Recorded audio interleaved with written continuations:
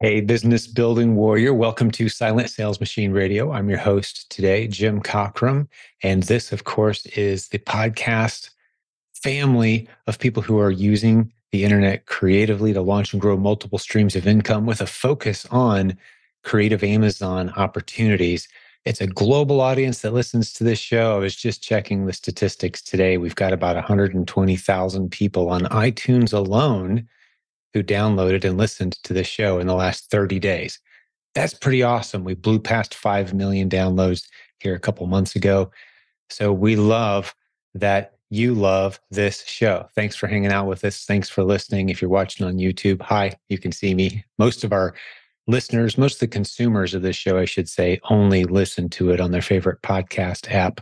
But it's great hanging out with you no matter how you're listening today.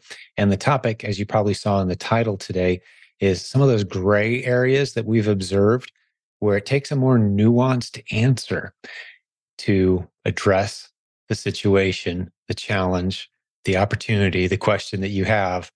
And you'll see a lot of conversations in our free Facebook group on these topics because they're very nuanced situations for the most part.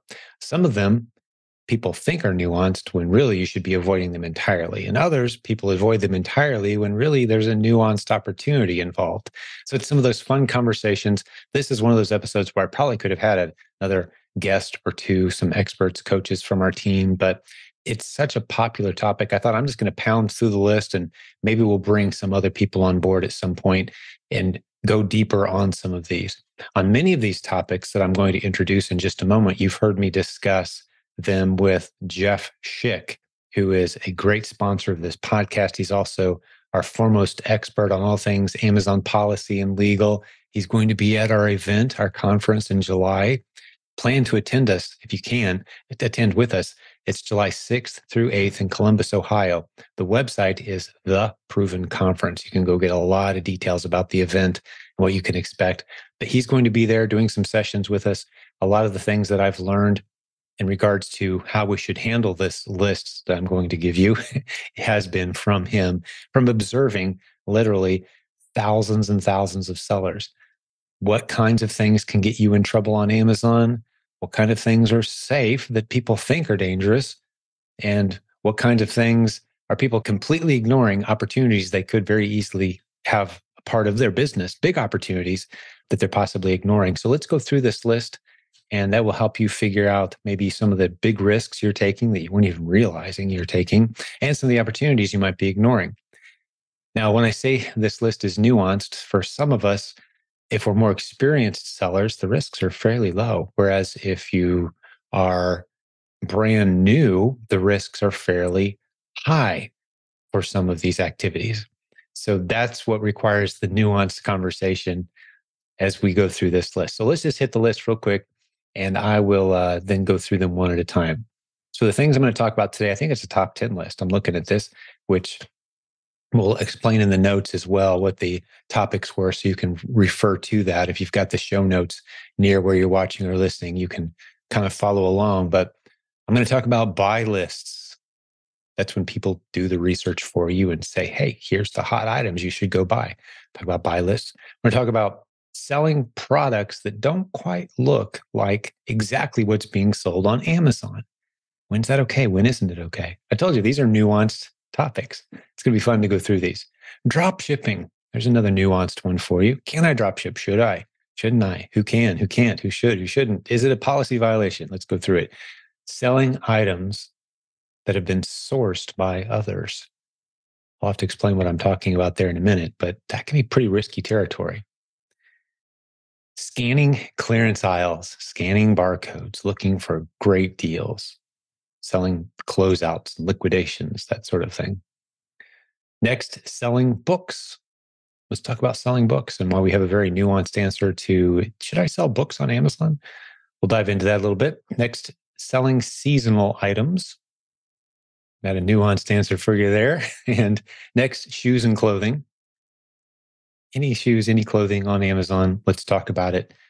Why some people are super excited about it and love it, and other people are very bummed out about it and very negative on that. Next, bulk discounts. Yeah, bulk discounts. Well, if I can buy one for $10, surely I can buy 10 for $80. And that means I can buy, you know, a, a hundred for an even cheaper price per unit. That means I need to buy as many as I can to get those discounts, right? Well, nuanced answer coming at you. Next, storefront stalking to find ideas of what you can sell. That seems to be a, a gray area that would be fun to dive into as well. So let's dive into the list in the order I gave it to you. There's no particular order here. I think some of the more interesting ones are towards the middle of the list from my vantage point, as far as being able to provide you with everything you need to know to make a good decision for yourself on what your risk tolerance is and how you can properly handle some of these. Uh, some of the things on this list, they're great if you handle them the right way. They're a disaster if you don't. Thus, the nuanced approach to answering these questions. All right, so let's talk about buy lists. That's the first one. Jim, should I use a buy list? Here comes a post popping into the Facebook group. And all of these, by the way, like I mentioned earlier, you're going to find multiple opinions even on each of these inside our free Facebook group. Now, what you will see is you'll start to see a consensus among those of us who have been doing it a while. It's pretty rare that those of us who have, say, five, seven, eight years experience of selling physical products on Amazon would give you nuanced answers that don't quite line up with each other. We may say, hey, if you're new, here's some advice. If you've been doing it a while, here's some slightly different advice. Buy lists falls into that category. Can I say, hands down, absolutely never use a buy list? Well, if I've got 15 seconds with you in an elevator, that's what I would probably say. Learn to find your own great inventory. It's so much better than lists. You've probably heard me say things like this before. If you're buying a buy list from somebody, you're paying them money and they're providing a group of people 5 10 15 50 people get this list like hey here's the hot inventory go buy this stuff that list is getting shared and reshared and compiled with other lists and sold and resold. If the list is any good at all, someone's buying it just so they can resell it to other people. That's a great way to get yourself caught in this cycle where you're going out and buying stuff that looks great and you're sending it in and it still looks great. And then it gets checked in two weeks later at Amazon and it's not looking so great anymore. And then you start looking at the numbers a month out, six weeks out, and the price is cut in half and there's 50 sellers where there used to be four or five sellers. How'd that happen? Well, you're probably selling stuff that somebody put on a buy list at some point. And a whole lot of people who think they found the magic pill to succeeding in Amazon, well, they've jumped in and used that same buy list. And there you go. Maybe it's a sale at a popular nationwide chain. And, and every store in the United States put the exact same item on sale at the exact same time. And now here you are rushing out and buying a lot of it along with 50 other people. And you think that you've got the holy grail. Well, you figure out very quickly you don't. If you're new to selling on Amazon, we give all new sellers the same advice learn replens. 99% of all new sellers should be learning Amazon replens. And I won't spend a lot of time giving you the evidence as to why that is. I could make a whole lot more money trying to sell new sellers into private label. There's a lot of people that do that, selling these two to five, eight thousand dollar courses to new sellers, teaching them how to launch their own private label product. Well, we're watching those companies and that philosophy kind of crash and burn and implode on itself right now in the industry because so few people are actually able to succeed we see about a 5% success rate in the industry, is my estimation, of people who put in tens of thousands of dollars hoping to launch a private label product, but then it crashes and burns. We have a very different approach. We say start with replens. Well, a lot of times people start with replens, they start off with the reselling model, and they grow into beautiful things from there. That's the hundreds of stories that you've heard on this podcast. You can go hear them. You don't have to believe me. Go listen to 10, 15, 20 episodes of this show. You're going to hear numerous examples, recent examples of people doing just that. But a lot of times when people jump into replens, they're looking for that easy button, that quick fix, that just tell me what to buy. Somebody tell me exactly what to go buy. And it's very appealing to get into one of these buy lists. But my rule of thumb is until you're selling about $10,000 worth of inventory per month on Amazon, don't even think about a buy list. Don't even touch it. Don't even consider it.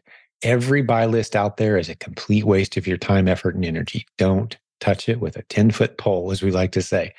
Now, once you've moved into more advanced selling strategies and you understand the replens model and you're finding your own great ASINs and you're able to do the research yourself, you can use these same buy lists as a research starting point. You can do some rabbit trailing with them, perhaps.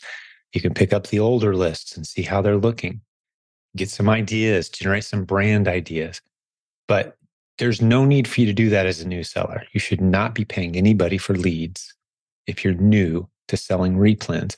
You simply must learn to find them yourself. You must appreciate the process. You must appreciate being able to evaluate an ASIN, a listing, and deciding if it's one that you want to spend some time on or not. So that's my advice on buy lists.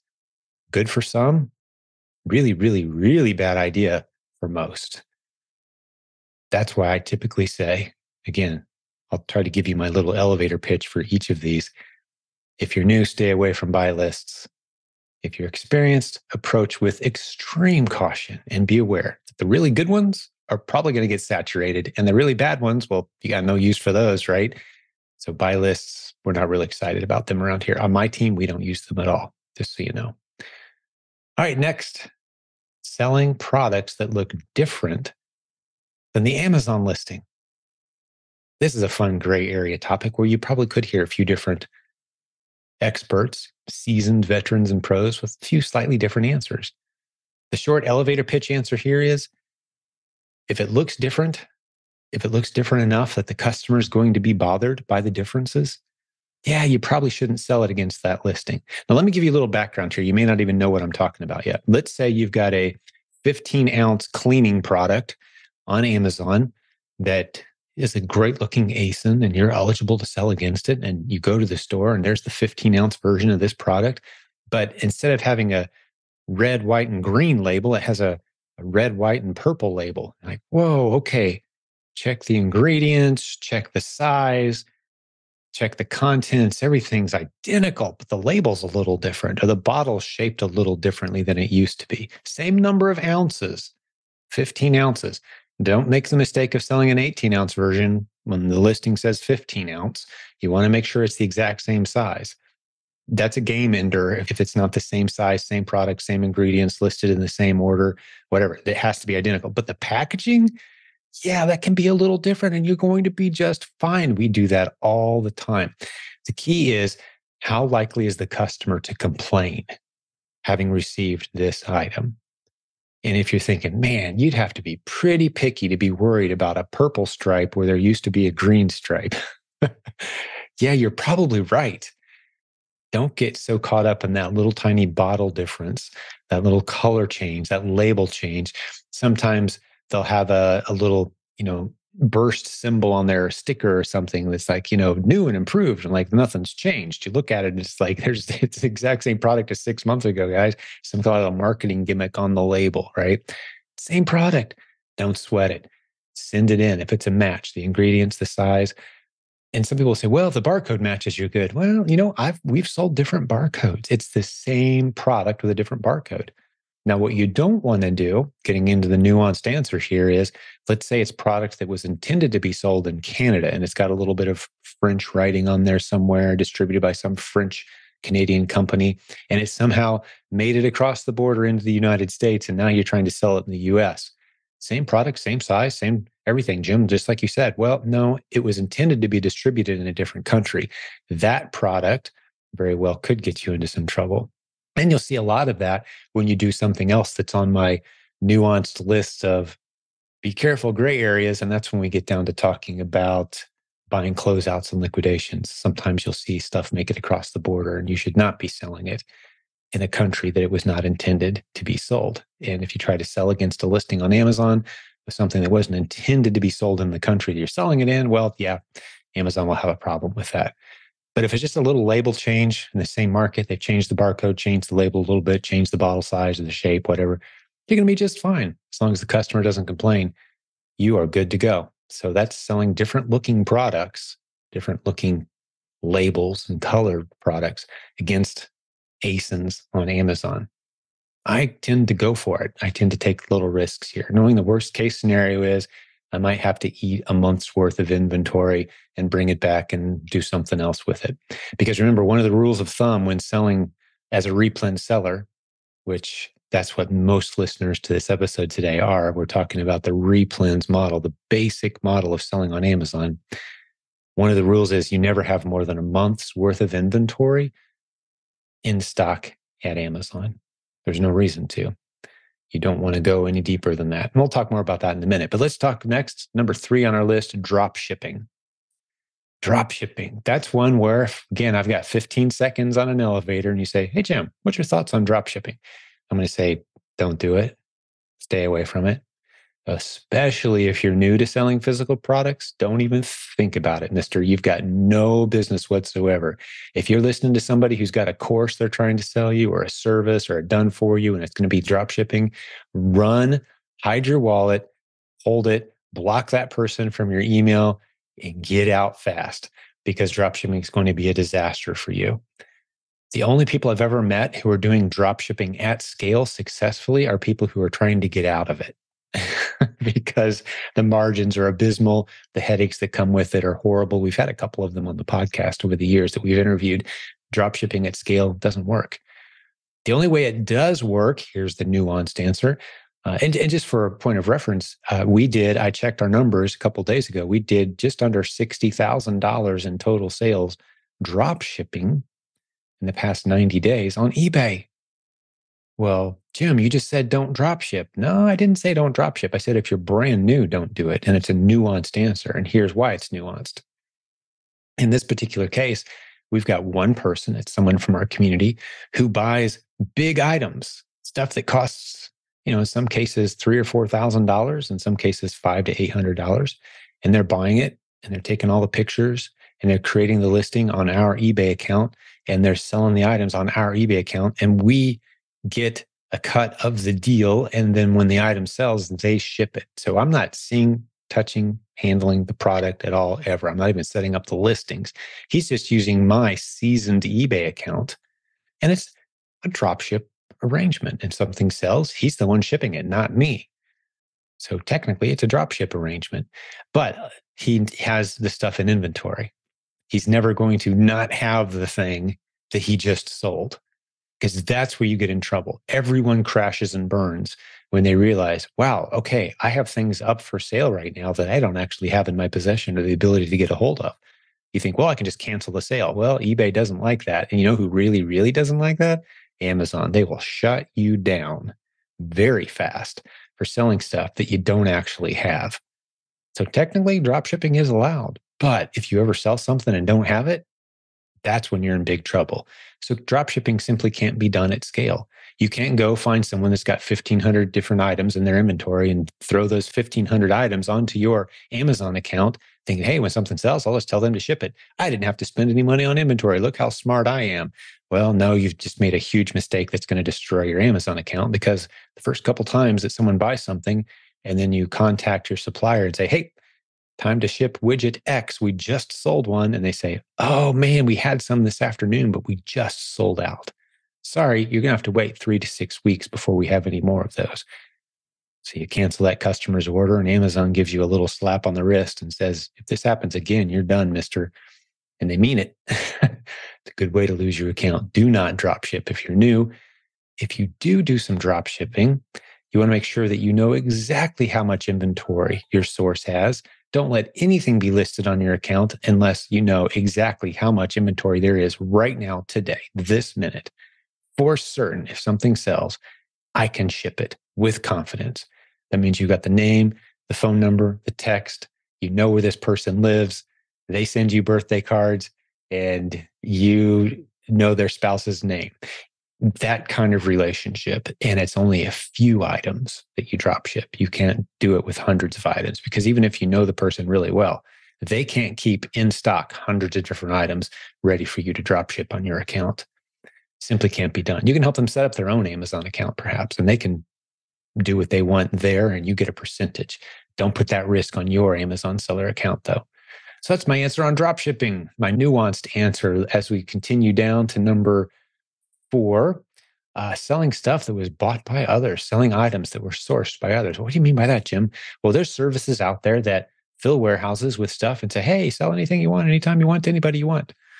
We've got it here. And you can track and you know how much they have. And maybe they'll even send it into your Amazon account on your behalf. Well, the trouble with that is when Amazon says, hey, we need proof that this product has come from a reliable supply chain. You can't provide them that proof because the only invoice that shows when that product was sourced from its originating source is that it went to someone else's warehouse. They paid for it. They were the ones sourcing it. And now they're selling it on your account. So when there's an IP complaint or a pushback, you better be able to produce an invoice or a receipt that shows you're the one that purchased it originally. So when I took possession of it, I bought it from a legitimate source. Billy Bob's warehouse is not a legitimate source. Ed's Toy Barn closed down shop. You know, you know, we've got discounts on everything. That's very risky territory. It just is. Now you'll hear all kinds of people saying, "Oh, I know these people are going to get away with it forever." Like all it takes is a couple complaints, and Amazon's locked down their entire account, all their inventory, all the money that's owed, locked down. And now you're talking months of legal struggle to get back some or part or whatever. Maybe close your account down. These are the kind of things that Jeff Schick and I like talking about. And you can run it past many people. You can get many different answers on these types of things. But for me, the only inventory that's going into my account is stuff that I could produce a receipt that has my business's name on it or an invoice that has my company's name on it. If I can't, if I don't have that on hand right now, I'm not selling that stuff.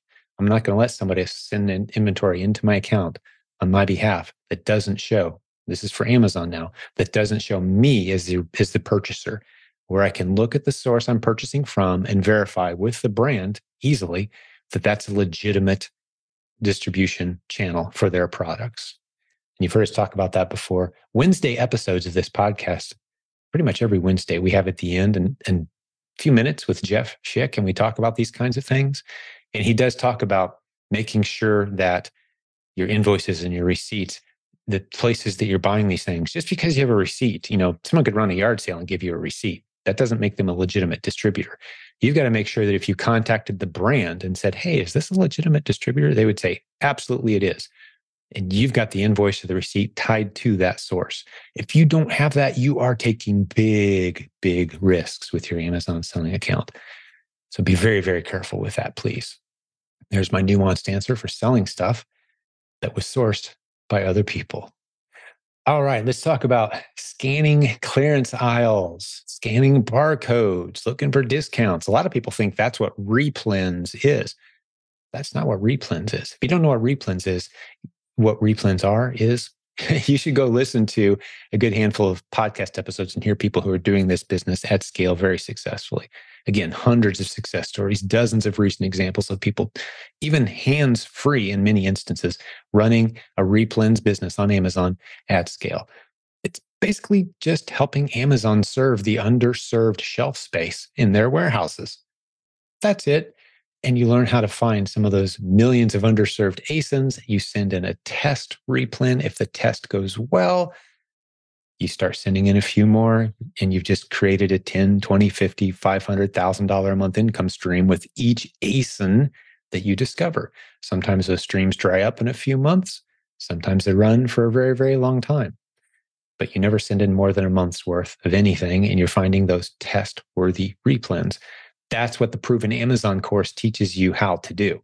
That's what all of these hundreds of success stories, 1,700 tagged success stories in our Facebook group that you can go scroll through. Look in the picture area of the free Facebook group. There's a link at silentjim.com, by the way, to our free Facebook group. Get in there, look at some of those pictures, 1,700 of them plus some, it's tons from our coaching program, from our Proven Amazon course. So you need to understand replens. Sometimes people think scanning barcodes in the clearance aisle of Walmart is replens. No, that's not replens. A replen ASIN is one that you can easily go get more when you need to at the same price you paid last week, last month, six months ago. Approximately same price. Prices are changing because of inflation up and down, but it's not a you know 80% off clearance item. That's not a replen because if that sells well for you, you can't go back and grab 30 more if you need them. So Jim, are you saying we should never hit the clearance aisles? We should never scan barcodes? No, have fun with it. I like to say, don't walk past $20 bills sitting on the shelf as you're going to get groceries for your family. They're, they're sitting right there. Clearance aisle, sure, check it out. Cruise through real quick. See if there's anything that jumps off the shelf into your cart. Little five, $10 bills laying around. That's great. But that's not a scalable business model that's what we call an Easter egg hunt or a treasure hunt, or you might call it running on the treadmill for your business. You can't automate that. You can't put someone else in place to make that whole machine work. Replens, you can do that. You'll hear many stories on our podcast of people who have completely automated their replens business. They got someone doing the research for new ASINs. They got someone else doing the shopping. That's got someone monitoring their account. They've got a prep center that receives all their inventory. They just watch the numbers and check in. That's what I do with my business. I swipe down on the app and reset it, refresh it four or five times a day. Probably exaggerating, more probably more like 25 or 30 a day. But still, that's how that's all I that's my contribution. the team has a question, they ask me, but typically they're all smarter than I am at this point because they've been doing their jobs for a while. You can get to that point with Replens. You can't do that with scanning barcodes and looking at clearance aisles. So I've got a reputation in the industry being the guy that says, never scan barcodes. Like, kinda, but it's more nuanced than that. Yeah, don't walk past $20 bills, sure, but build a scalable model that you can step away from. Don't get caught on the hamster wheel of going out every Saturday and hitting all the yard sales and scanning all the barcodes and making that your only income you simply can't scale that. You can't build a team around that. You can't step away from it and sell it as an asset someday, for example. It's just a hamster wheel of opportunities that come and go, rise and fall very quickly. Some days you make $100, other days you make 1500 You don't know what you're going to get with that model. Now, some would argue that uh, you're crazy to walk away from all that extra opportunity that's out there. And I would tend to agree. Nathan Bailey, he's been with me for 20 years leading our coaching team.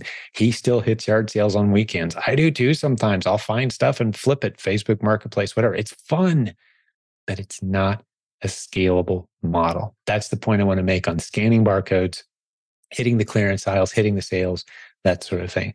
And never mind the fact, too, if you're selling it on Amazon, please be very careful. That's kind of a gray area. You're selling products that don't have a receipt that proved that you sourced it from a legitimate source. You could get yourself into a little bit of trouble, even if you're selling it as used. The example that Jeff Schick gave once when I was having this conversation with him was let's say you buy a board game and uh, you know it's it's got all the pieces, looks good. You open it up, yeah, it looks great, and you uh, looks legit to you and you sell it on Amazon. And the next thing you know, you're getting a, a, a trademark infringement notice. Like, what? What's going on here? Like, we want to know where you sourced this. Oh, I bought it from a yard sale. Well, actually, you what you didn't realize was what you bought is a Chinese knockoff. It's a it's counterfeit goods. This was sent over at a pallet of counterfeit copies of this game, and it looks to the naked eye, it looks like the same. But if you notice, the paint color's different here, and you know the logos moved here and they misspelled a few words on the back cover that you didn't catch when you're looking at it. Like oh my gosh i sold a counterfeit good. That's actually illegal right? Don't do that. So with these yard sale items you can't be moving illegal goods. You could that could happen without you even realizing it. So just be super cautious when in doubt sell it on ebay which unfortunately has a fraction of the audience that amazon does the reason we start people on amazon is because that's where half of all the transactions in the United States online are happening every day. eBay plus Walmart plus the next five or 10 other most popular other websites don't even add up to a fraction of what Amazon gets every single day. So we love to start you where all the eyeballs are. We're more likely to make a lot of sales. So if you can learn to find replens and focus on that and kind of stay away from the yard sale, clearance aisle, scanning barcode stuff, the quicker you get away from that, the better. Which kind of leads me to the next point. What are we at? One, two, three, four, five, six. We're on point number seven, no, six, selling books. Selling books. Well, Jim, what about books? We used to love starting people out with books. You know, you could run a little ad and you can still do this. You can run a little ad in the neighborhood Facebook group or the Nextdoor app or whatever and say, hey, I, I'm getting into selling books. If anybody wants to donate books, I'm going to donate the ones that I can't use to the local women's prison and the local homeless shelter and to the, you know, the, the grade school library. But the rest of them I am going to sell.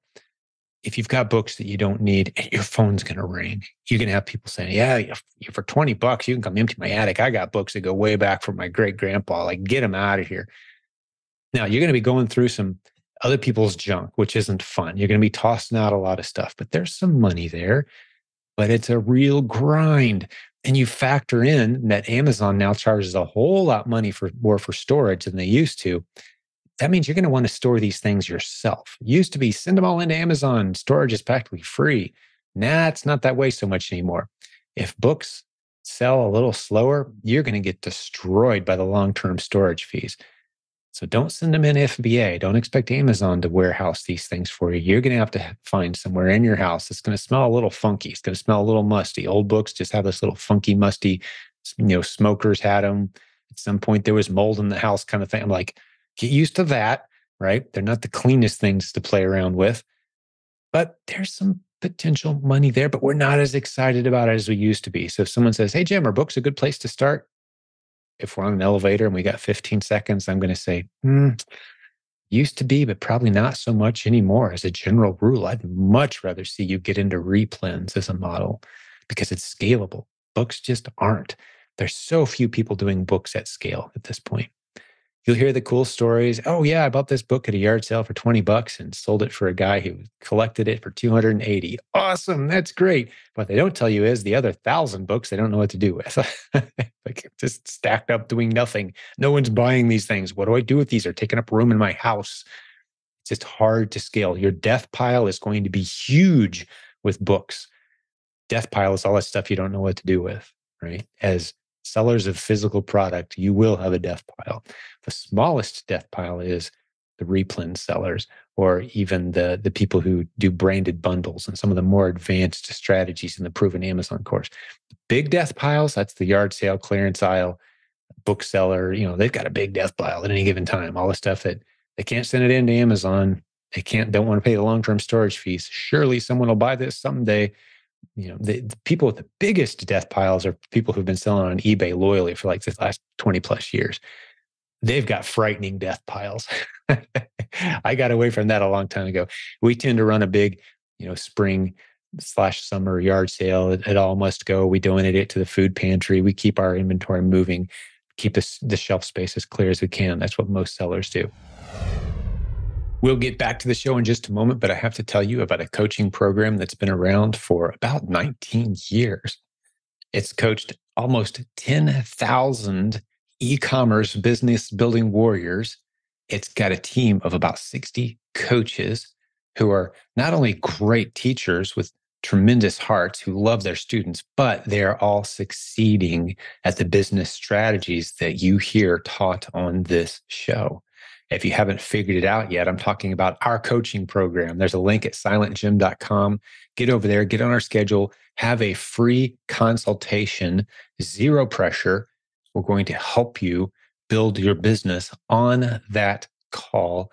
Sign up at silentjim.com, free consultation. See if our coaching program is a good fit for you, where you get to not only work one on one with one of our tremendous coaches, not only do you get that, you also get a reactive coach that you can contact at any point in time. That's a separate coach. You get all the training and content that we provide around here at no cost now and into the future. Tremendous list of benefits. I'm not going to go into all of them right now. SilentJim.com. Click on the coaching link, sign up for a consultation. Hey, let's get back to the program. They've got frightening death piles. I got away from that a long time ago. We tend to run a big, you know, spring slash summer yard sale. It, it, all must go. We donate it to the food pantry. We keep our inventory moving, keep this, the shelf space as clear as we can. That's what most sellers do. But let's get back to books. I've got a great tip for you. If you've got some books that have accumulated, or you you, you just know, like, man, there's got to be opportunity here. Dalia, uh, one of the great leaders on our team, put together a course not too long ago. You can find it. It's priced very reasonably at provenamazoncourse.com slash safe book profits. That's provenamazoncourse.com slash safe book profits. Put all three words together at the end like it's one big word, safe book profits. I'll stick a link in the show notes as well near this audio. But basically, there's services out there that will buy all your books. You just tell them what you got, and they'll say, Yeah, well, here's the titles we'll take. Here's what we'll pay you. So instead of waiting for them to sell one at a time, you're boxing them up and you know exactly how much money is going to cost you to ship and what they're going to pay you and you get paid and they take your books and you don't have to worry about oh well this book was actually in slightly used condition instead of brand new condition so we got a complaint from the customer. No they just they buy them all buy boxes of books. Her mom is actually making several hundred dollars most weeks from just collecting books and seeing what this what these people will pay her for it and sending them off to these book buying services and the course talks you through how to do it, where the good books are, how to keep a steady stream of books coming in, what the services are that will buy them from you in bulk. They've really got it dialed in. It's a course that you can take in a couple hours. If you do that, yeah, books can be a nice little side stream of income if that's something that sounds appealing to you. Provenamazoncourse.com slash safe book profits. Go snag that course. It's a great little business model to add a new income stream if you're interested in books, because a lot of people have them sitting around and it's easy inventory to track down. That's my nuanced answer on selling books. Let's move on to the next one, which is selling seasonal items. So here we are on that 15 second elevator ride, and we're going to part ways here in just a few seconds. And I only have a short time to explain my thoughts on should I sell seasonal items on Amazon, Jim, or in general? What do you think about seasonal? What I mean is like Christmas, Easter, Valentine's Day, you know, the big the big seasonal holidays. Halloween is huge, all the masks and costumes, right? Or should I be going to the stores, you know, a week after Christmas and buying all the 75% off stuff and buying and holding and storing it and then selling it next year? What do you think, Jim? What's your thoughts? Well, if we only have a few seconds, I'll say if you're brand new, stay away from it. It's kind of a black hole that will suck you in that you may not escape from. If you've been doing this a while, you got some storage space, sure, why not? Why not? You've got some margin. There's a 99% chance you're still going to be reselling, doing things about the same way next year about this time as you are right now because you've been doing it a while. You've been doing this four, five, six, seven years. Yeah, don't ignore the seasonal. So if you're new, stay away. You've been doing it a while, yeah, it makes sense to tack on some of those low hanging fruit, but don't spend a whole lot of time, effort, and energy on it because there are some risks inherent to that. That's my seasonal, my take on seasonal items. You can make a lot of money fast in the fourth quarter each year selling on Amazon, focusing on some of those seasonal items. We hear a lot of people that do it and they'll even merchant fulfill. You hear plenty of stories in our community, for example, of people that will go to a store, see an item, scan the barcode or just do some quick research and see, okay, it's selling for $30 at the store. They've got 20 of them on the shelf. I wonder if I listed this right now, what it's selling for on Amazon. Look at that. It's selling for $65, $75. Okay. I'm going to buy four of them and list them right now while I'm in the store, put them on my merchant fulfill. I don't have time to wait to send it into FBA. That can take during Q4, like December, for example, if you send stuff in December 1st, hoping you're going to sell it for Christmas, it could take two, three weeks before that stuff even hits the warehouse and gets checked in. That's too late. But you can still merchant fulfill. So here you are finding these great deals in early December. You can say, I'll do the shipping. You hear these stories of people staying up all night shipping stuff to people all over the country because they're finding these great deals and just cruising through that big spending spree of opportunity based on Christmas spending. And they're merchant fulfilling these items, meaning they're doing the shipping themselves. So you you buy those units, you put them in your cart, you're heading up to, to check out at the store. They're already listed on Amazon. They're selling before you even get to the checkout counter. So as soon as you get home, you're putting them in boxes and shipping them out. That's the kind of opportunity that can be presented to you if you go after some of those seasonal opportunities which are available in abundance. That's the reason why many of us get so excited around Q4. But we stay excited year round because Replens is filling the underserved shelf space at Amazon year round. It just so happens that during November and December, there's a spike of opportunity where if you get into some seasonal, you can make a lot of money fast. And that's where you hear people hiring a team of five people to hit every Walmart in a six state area and clear the shelf of this one item because as soon as we grab it off the shelf for 20 bucks, we know we can sell it for 55. Let's clean up. And that's seasonal, right? Am I saying don't do it? No, I'm saying it's a grind and you're going to be in hustle mode during that season. So you kind of have to decide do I want to enjoy December or do I want to be a seasonal research maniac and make an extra $20,000 that month by hustling? It's up to you. There's my nuanced answer on selling seasonal items. Let's talk about shoes and clothes next. What's my nuanced answer about selling shoes and clothing? Well, here's the deal. If you're willing to scan a lot of barcodes, there's shoes and clothes deals out there everywhere. You're going to have a lot of returns, though. A lot of returns. some people report, I think it's like 10 or 15% returns. We're not real deep in shoes and clothes, but it's a lot of returns. You get really excited and then you have to get all this stuff coming back. You're like, oh, okay, sell some of it on eBay. Okay, donate some of it. Okay, what do we do with all this stuff? You're going to have a significant death pile of clothes you just can't sell with selling clothes and shoes. But the margins are great. You can do really, really well with it. There's services in our community. I'll stick a link in the show notes today. I don't remember the link off the top of my head. There's services that will take your death pile from you and sell it on eBay and give you a percentage. Pretty cool business model, right? Uh, you can you can if you do your OA uh, prep center with them, you buy your inventory online, it ships to them, and the stuff that comes back in the return, instead of going to your house, the returns go to them. Well, they will list it for you on eBay and store it for you. Pretty cool business model. So you can automate the death pile associated with shoes and clothes. But just know there's going to be a high return rate. Uh, but it is a very predictable if you if you're really ready to hustle, scan a lot of barcodes, codes, or just do research on brands that are selling well. Typically, it's best to do it in a retail near you setting where you're just going through. Maybe you've got um, authorized distributors of brands at a, at a discount. You know, some kind of uh, what's the word I'm looking for? it'll come to me.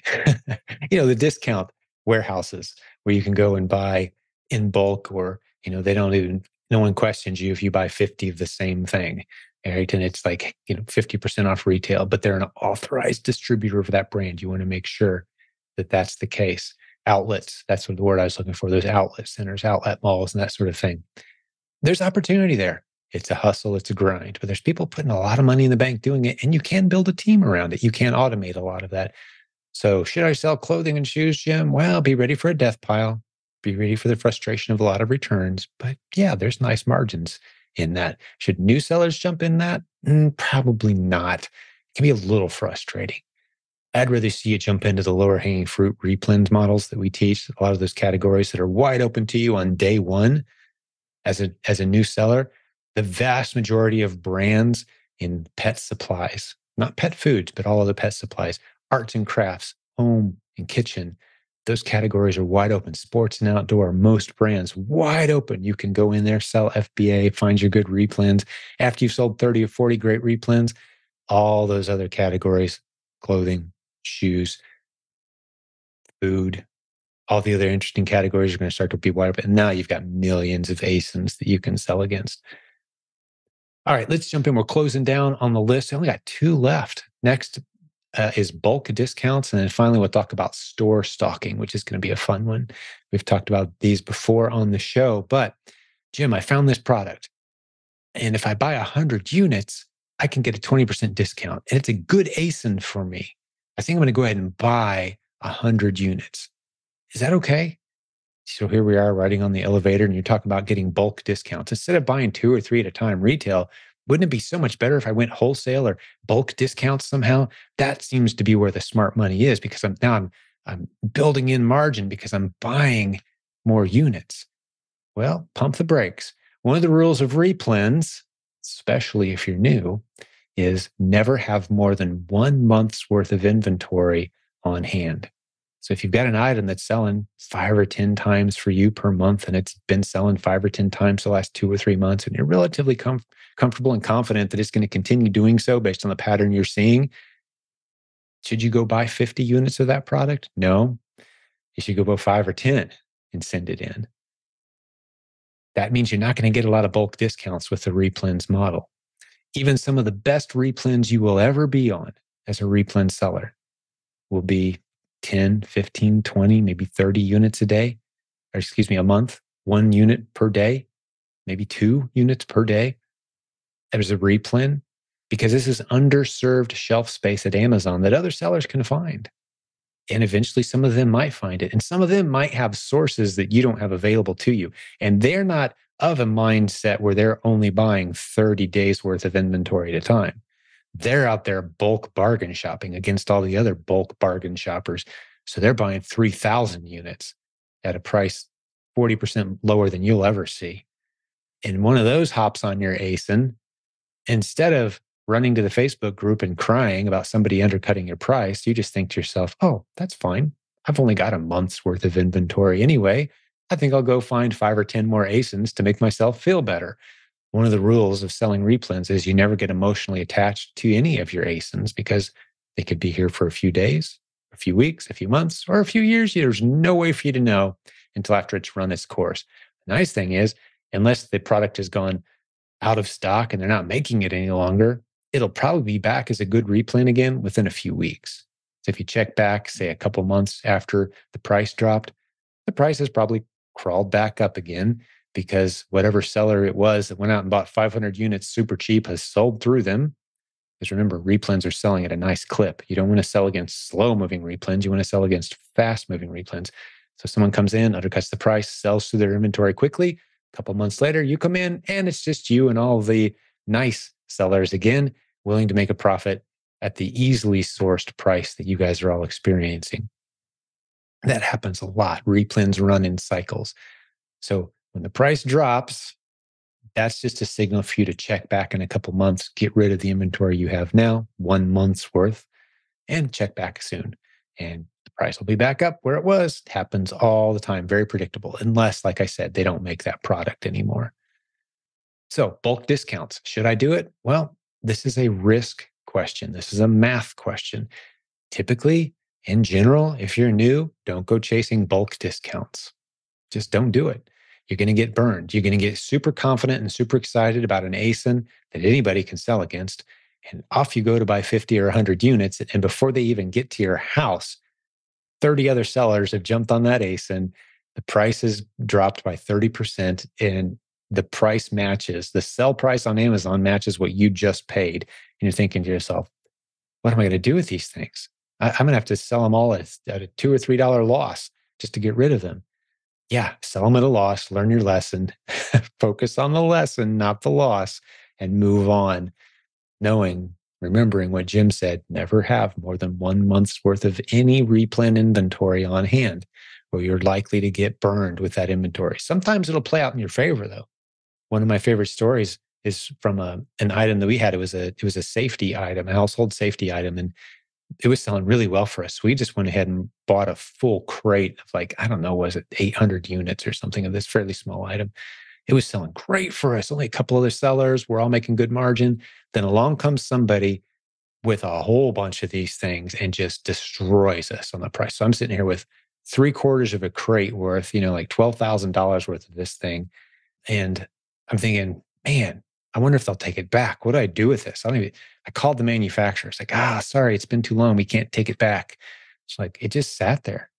It was, it was kind of more of a winter item too. So like here we are getting into spring, summer. I'm like, man, this just stinks. What are we going to do with this stuff? You know, selling a few here and there on eBay. Then suddenly we burned through the whole pallet like in a two week period because nobody had them anymore. The supplier wasn't making them as fast. They were in high demand. So we we bought it, we held it, it ended up working out. Sometimes if you just hold on to it for a little while, it ends up working out. Eventually, what happens to every fast moving item, and, and this is where you can, you know, you can end up being okay with these bulk discounts. Just because the price dropped today, man, it's going to come back because if it's a fast moving item, eventually it's going to go out of stock. Eventually, the manufacturer will stop making everything and it will still be a fast mover. So if you're willing to wait until everybody else runs out of that thing and it's still ranked well on Amazon and selling well on Amazon, you're the only one that's got it, you can just creep your price up and pay for all that time you spent worrying and storing it and not sure what to do with it or thinking about liquidating it. But here you are winning.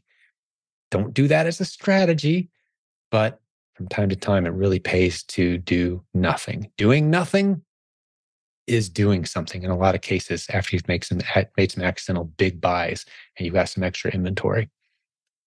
All right, that's my short 15 second elevator ride answer. Bulk discounts? Nope. Not if you're new. Once you're willing to take some risks, yeah, but please play cautiously. If you're a replen seller, don't go more than a 30 month day supply of anything. Store stalking. What is that? I bet there's a good number of listeners today. Maybe it's you that you've never heard that term before store stalking. What are you talking about, Jim? Well, actually, in our proven Amazon course, we teach dozens of strategies for finding underserved listings on Amazon. And one of them is just to simply look for other people who seem to be doing kind of this same business model serving the underserved shelf space at Amazon and look what they're selling. And just research that ASIN and see if that's something that you could sell against. Is it a product you can source? A lot of times you'll find some great solutions there. Sometimes people see this as a bit of a gray area, though, like there's an ethical or moral issue here. It's like, oh, I can't sell stuff that other people are selling. I want to find my own ASINs. Well, there's no such thing as your own ASIN. You're a reseller. the only people that have their own ASINs on Amazon are people that are selling private label products. But remember, before we jump off onto the private label bandwagon, 95% of everybody there are failing miserably because they're new sellers who jumped in, didn't know what they were doing, spent tens of thousands of dollars, filled their garage with inventory they're never going to sell. Don't get too enamored with that model, guys, because it does crash and burn for just about everybody, especially if you've never made a lot of money selling physical goods on online before. But every listing on Amazon belongs to all the sellers. Any of us can sell against any listing unless you're the sole owner, brand registered, trademarked, locked in, your product. You're the only one sending it into Amazon. Nobody else can get their hands on it. But every day, brands are battling, trying to keep other sellers off their listings, unsuccessfully so, because the laws actually protect the resellers. If you didn't know that, the first doctrine, first doctrine sale, basically, if you buy something from somebody, you now own it and you can sell it. Now, it doesn't mean you can sell it on Amazon, doesn't mean the brand might not get grumpy and make your life miserable, but legally, you're fine. But Amazon may have rules or policies. That's why sometimes you're you're gated or only certain sellers are ungated and they're pushing everybody else off their listings. It's just so much easier to go play on those nice replens where nobody's going to push back or care. There's millions of them rather than try to push back and wave the law in the face of Amazon and this grumpy brand that doesn't want you there. Just ignore it, move on, let them do their thing. But those are the people that are selling their own products on their own listings.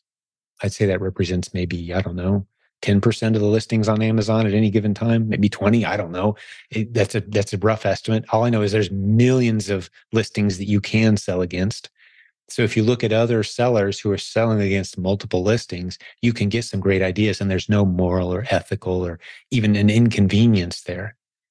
Many people will put in four or five store names into Keepa and do the research and say, which of these ASINs look good for me?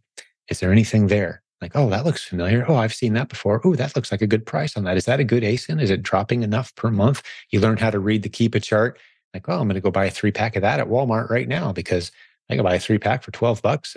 It's selling for $42, 22 drops a month, and there's only two other sellers. Yeah, I'm in. I can expect to make a good handful of sales per month on that bundle. Let's do it. So they discover listings that way some people say, oh, no, you should never look at the listings of other sellers on Amazon and, and, copy what they're doing. I say, every time you sell anything on Amazon, that's exactly what you're doing. it's just a matter of how you found that seller, how you found that listing. We are resellers, which means other resellers can sell against it. The thing that's in our favor as Amazon resellers, though, is every day, hundreds of thousands or more of the ASINs go from being served well to being underserved or completely ignored. And once you know how to identify that, you realize that it's such a blue ocean of opportunity that nobody cares who's looking at what. As long as you're finally, as long as you're constantly looking for new ASINs, constantly adding new ASINs to your catalog, as the other ones drift off, as other people find them, as new sellers come along and drop the price because they can't do math right yet and they figure it out later. That's okay drop my price on that ASIN, sell your inventory, learn that you're not making any money, and then you'll come in at the higher price later. That's all great. That's the game. Constantly finding new ASINs. So when you're at the point where you can confidently sit down and find 5, 10, 15, 20 ASINs anytime you want to, becomes a pretty fun business model. Some ASINs are dying away, some are some are coming in people are jumping on some of your listings, that's fine. Some crazy guy jumps on a few of your listings from a certain store, drops the price, that's fine. Sell out of your inventory, check back in a couple months. Half those listings will be back in action again. So, storefront stalking, looking at people's stores, we actually have a, a strategy. It's called Advanced Keep Keepa Sourcing. It was put together by Brian and Robin Joy Olson on our team. They put together this training that teaches you 10, I think it's either 10 or 12 different ways to use Keepa to source. And one of them is like an advanced storefront stalking strategy where you get it all under a spreadsheet. You just go step by step how to do it and how to look at other stores, see what they're selling, filter out the stuff that's of no use to you, and look at the really good potential winners. You can find a bunch of great ASINs that way really fast. Hop in alongside other sellers. And remember, when you're doing this, when you're hopping along as other sellers, I'm just doing this as a general service to the entire reseller community. There's no need for you to be the lowest price that gives you a slight advantage, but it also tempts everybody else to drop their price by a penny down, down, down, down, down. Everyone just kind of sets their reprice to go just a little lower than the next guy, and suddenly nobody's making any money. No need to do that. Jump into the middle of the buy box, make a few sales per month. That's a great ASIN. I'd much rather be the guy that's making five sales per month and putting $5 per sale in the bank than the guy that's making a thousand sales per month on that same ASIN and putting two cents per sale in the bank. It just doesn't make any sense to be to run a that thin of a margin. It's not necessary. Play nice in the buy box with the other sellers, jump in there in the middle of the pack, watch the buy box rotate around you have to remember this. This is a good lesson for storefront stalkers too, especially those who are hesitant, saying, Oh, I don't want to look at other sellers because I don't want to drive their prices down and have a negative impact on their business. No, these are fast moving items. In some cases, there's 5, 10, 15, 20, 50 other sellers on this ASIN. You coming in is not going to bother anybody's business. It's all good. Actually, the more sellers and the more different warehouses where inventory is placed around the United States, the more likely that ASIN is to rise in the ranks on Amazon. More sellers are going to see it. There's a lot, excuse me, more buyers are going to see it. There's a lot more buyers out there than there are those of us who are selling stuff. So when we kind of team up on an ASIN and really fill the warehouse with that and bring value to Amazon's marketplace, and Amazon's like, hey, this is a good item. We've got good distribution across the country on this. There's a lot of sellers contributing here. And you're in the middle of the buy box and your stuff is sitting in a warehouse near someone who needs it right now, well, their buy box is going to show your price, not the lowest price on the West Coast, but a price higher than that because you're in a warehouse near the customer, let's say on the East Coast. Eh, eh, same zip code. There's your two or three units sitting in their warehouse. They're going to buy yours. They want it prime now, two hours from now. The buy box fluctuates wildly at any given time across different cities, across different regions it's not one set line on a Keepa graph. That's not the buy box. The buy box is all over the place any given time on any given ASIN, especially if it's a fast mover. So please keep that in mind when you're storefront stalking. Another thing to keep in mind when you look into other seller stores is you don't know which one are their winners and which ones they're just trying to liquidate and get rid of because it's a dog. So if you think, oh, I'm going to go copy everything this guy's buying and I'm going to just underprice him by and I'll have a great business. Well, no, probably 20% of his catalog right now is stuff he's just trying to get rid of because he he overbought during Q4, right? So you're crazy to go out and try to buy everything. You're going to have to do your own research. It's not some kind of cheat code to look at another seller's store. There's going to be winners and there's going to be losers. He's got unique advantages that you may or may not have. He's got sourcing partnerships, long-term long-term relationships, local connections that allows him to get the inventory when he needs it. And you're going to struggle to even find it. He's selling the 15 ounce version, and you can't find that anywhere in the stores. All they got in the stores is a 12 ounce version. How is he doing that? You don't know. You don't care. So storefront stalking isn't some kind of magic formula, nor is it a gray area that you need to avoid. Jim, I'm new. Should I do some storefront stalking? Absolutely, you should. Look at what other sellers are selling. Look at their stores. Investigate what inventory they have. See if you can figure out a way to sell alongside them. Just don't drop the price into the mud. When you do, everyone will thank you for that because it helps keep that ASIN alive and active and, and profitable. And the customers are happy to pay a higher price. That's why the price existed to begin with. Hey, don't be the guy that drives it into the dirt. No need to do that. But that'll always happen. Other people will always do it. I've been doing this for 20 years. If it's a good product, it'll be back. And keep in mind, Replens is one of a couple dozen different ways you can make money on Amazon creatively. This is just the beginner model. So I covered 10 gray areas of the beginner basic Amazon selling model that we love to teach to our new students. And if you want to hear, like I mentioned earlier, if you want to hear dozens of recent examples of interviews with stories of students from our community, proven Amazon course students who are using these exact strategies every day to build beautiful businesses, well, just keep listening to this podcast. Scroll back in time, listen to 10, 15, 30 episodes. You're going to hear all kinds of great examples of real people who, in most cases, knew very little to nothing. In most cases, had never made significant money online before and now they've built a beautiful business. And they're starting to learn some of these lessons. Many of the lessons I covered today, I guarantee you, there's sellers who've been selling on Amazon for two, three, four years, and they've never heard an intelligent debate or discussion on any of these topics.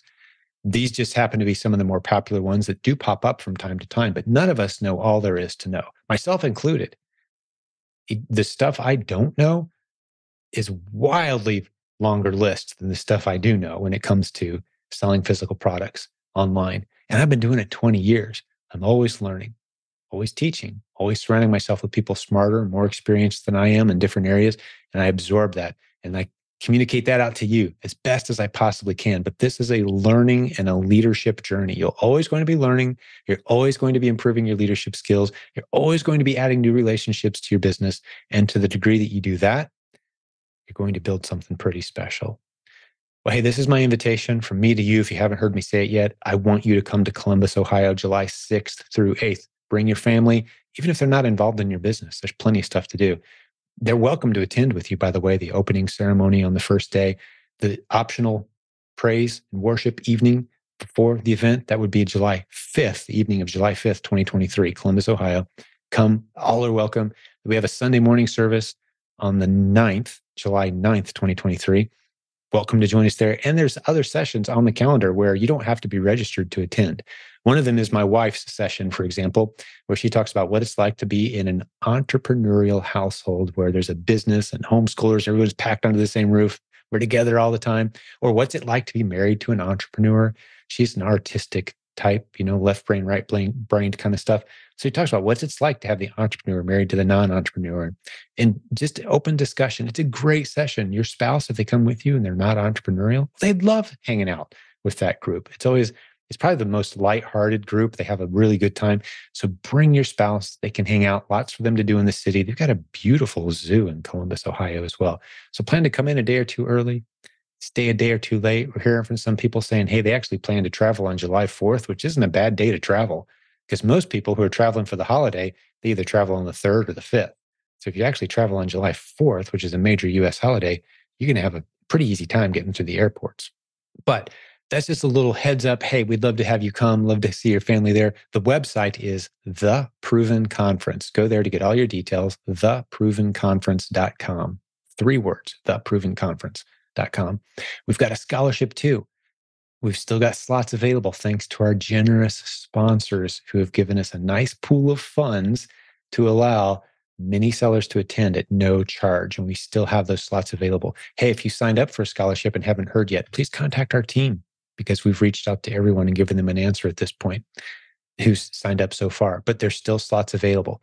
So go to theprovenconference.com slash scholarship, fill out the short five or six question form there and answer with sincerity. We're going to, to contact you and follow up with you. And we'd love to bless you with free general admission tickets for you and any guests. If you qualify, we'd love to hear from you on that. So if finances are a bit of a challenge, but you'd love to be there, please come. Can't wait to see this event unfold. We've got 40 great breakout sessions this year. I think it's going to blow your socks off. This is the 11th time we've done it. This will be our best. I'm completely convinced it hasn't even happened yet. It will be our best ever.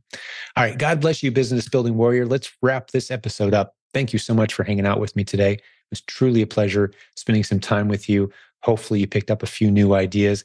If you want to discuss any of these, jump into our free Facebook group. We'd love to have a conversation about anything I brought up today, or just do a keyword search on any of these topics. For example, if you go in to our Facebook group. There's a link at silentjim.com, free Facebook group, 73,000 members. Let's say you type in the phrase books. You can see great conversations about people talking about selling books, why they got into it, why they got out of it, how it's going. So find some of these conversations that have already happened And then if you've got some questions that you can't easily find answers to with the search feature, well, just go ahead and ask your question. You'll get a great conversation of your own going. That's why it's there. We've got a team of 100 of us that moderate that group. In any given week, hundreds and hundreds of posts happening and different conversations happening. I like to go live on Mondays, by the way, as well, 5 p.m. Eastern time, which is New York time, 5 p.m. I tend to go live in the group, look for announcements on that where we can interact like on the Zoom screen and turn on your camera and we can talk and you can ask questions. We've got some of those episodes coming, by the way, as podcast episodes too, some of the really good questions that people are asking. But all right, enough announcements, enough rambling from me. This was a great episode. Thanks for hanging out with me. Let me know what you thought. If you've never left us a review on iTunes, that'd be great. Five stars. As Mama always said, if you don't have anything nice to say, don't th- say anything at all, please. That would be great. But five star reviews are certainly appreciated. And uh, that helps us spread the word. Leave a written review or subscribe if you've never subscribed before. That is how iTunes recognizes the hot episodes and the, the hot podcasts from the ones that are cooling is how many people are subscribing. So that really helps boost us in the ranks. We appreciate if you subscribe on iTunes. That always pays big dividends because this is a completely free podcast. We have a zero dollar marketing budget. Doesn't cost you anything, and we're not putting any money into marketing it. So you are our marketing. Thanks for that. All right, I promise I was wrapping it up here. Let's finish this one out. We'll have another great episode for you again very soon. I'll talk to you then.